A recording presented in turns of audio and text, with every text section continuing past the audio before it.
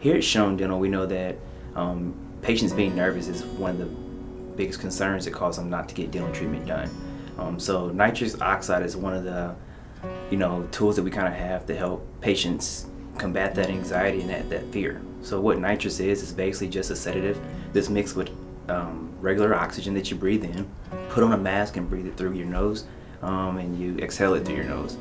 It's completely safe. At the end of the appointment, you're on just 100% oxygen. It does make you feel kind of loopy and just really relax. Some people say it makes them feel like they're floating. Some people say it makes them feel like they're kind of in space. Um, but it just really takes the edge off of you know the, the dental procedure that they're anticipating. Um, one of the things that makes you feel pain more is just that anticipation having that fear. So what nitrous does, it doesn't replace, you know, dental injections or anything, but it really makes them a lot more tolerable. Um, a lot of times they notice that they didn't even know that they got anything done. So it's just one of the tools we offer here at Schon Dental to make dentistry more comfortable and, and, and you know, better experience for our patients.